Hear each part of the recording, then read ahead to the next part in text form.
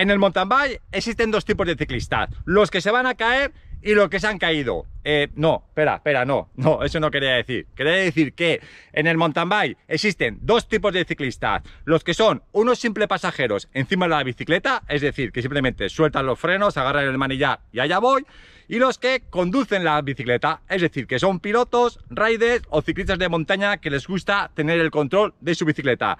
Así que hoy nos vamos a ir a unos pasos técnicos eh, que hay aquí en un sendero y voy a hacer cada paso de dos maneras.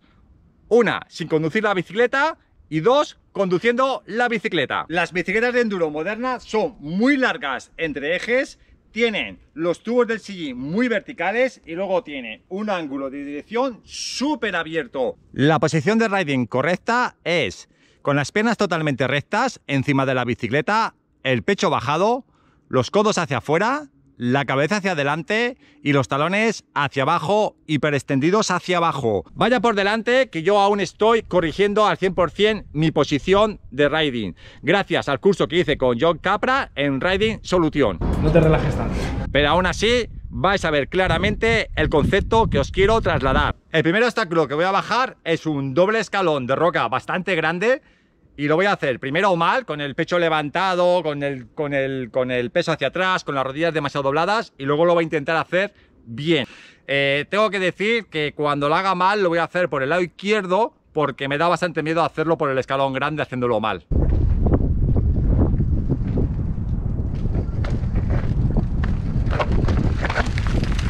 Ahora mismo estoy bajando con el pecho demasiado alto, con el peso muy atrás y mis piernas van súper flexionadas. Y ahora fijaros, quedaros bien con esta posición, mirarme bien, totalmente atrás, mirar mis piernas totalmente dobladas, mirar mi culo donde está, totalmente detrás del sillín y casi encima de la rueda.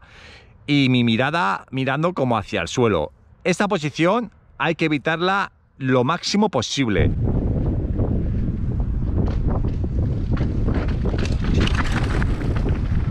Ahora abajo totalmente centrado. Mirarme, mirar hacia adelante, bien posicionado, incluso mirar ahí en el borde totalmente posicionado. Esta es la posición que tenemos que tener a la hora de atacar un obstáculo. Piernas rectas, mirando hacia adelante y preparados para absorber el obstáculo. Fijaros, sigo manteniendo la posición, pero he tenido ya un fallo. El fallo ha sido es que no he empujado la rueda a tiempo y se me ha ido la rueda muy para adelante. Entonces, mirarme, se me obliga a poner esa posición. Eso ha sido porque he empujado demasiado tarde el manillar para bajar el escalón. Ha sido un pequeñito error, leve. Siguiente tramo que voy a hacer es este de aquí. Es una losa de roca inclinada con bastante piedra suelta y tiene un escalón, dos escalones y otro escalón aquí un poco más adelante.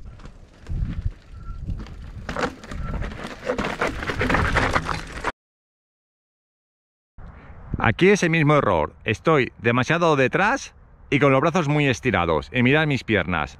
No son correctas del todo.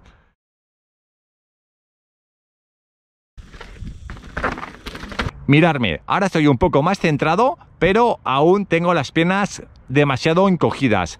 Me pasa que en las zonas muy inclinadas aún no tengo la confianza suficiente para mantener la posición correcta.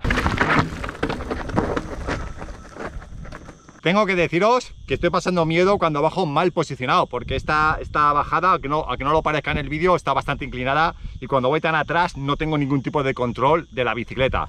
Bueno, siguiente paso, que está aquí detrás de mí, que son unos escalones. Allí donde está la bici empieza y hay un escalón, dos escalón, tres escalón, se baja por encima de esta losa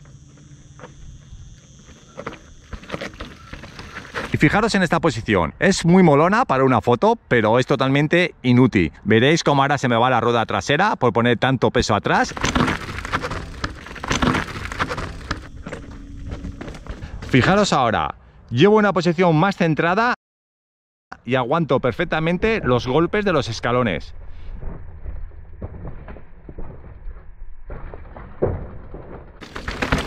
Bueno amigos, ya me queda solamente esta, última trilera, que son como dos curvas de roca. Y esta directamente lo voy a hacer con la mejor posición que me salga. O sea, no lo voy a hacer de mal, sino que voy a pasar ya bien o todo lo bien que yo sé pasar. Voy a hacer lo que son las dos curvas porque son bastante complicadas como para hacer el tonto. O sea, ya pasando normal te puedes caer, pues haciendo el tonto, imaginaros. Voy a por la bici y voy allá.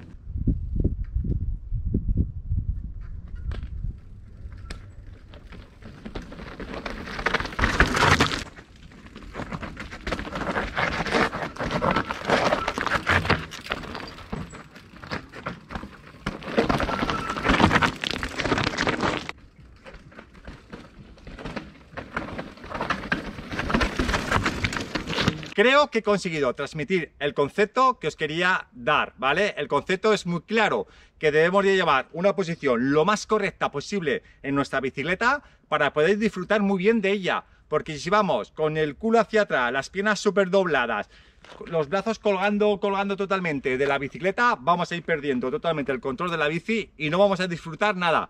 Además, que la bicicleta irá dando tumbos, como habéis visto en el vídeo, y no tendréis ningún control de ella tenéis que empezar a conducir la bicicleta, ¿vale? Acordaros, en cuando ponemos, bajamos el pecho y ponemos el peso ya sobre el manillar, simplemente ese gesto ya nos va a obligar a conducir, porque lo vamos a ver con todo encima y vamos a decir, ostras, ahora tengo que conducir, que estoy yo al volante. Pero cuando yo me tiro aquí atrás, no hay nadie al volante. Ahí va la bici para adelante, pasándolo todo, y si hay suerte bien, y si no, pues cataplan. Tortazo que nos damos. Bueno, pues nada amigos, espero que os haya gustado el vídeo.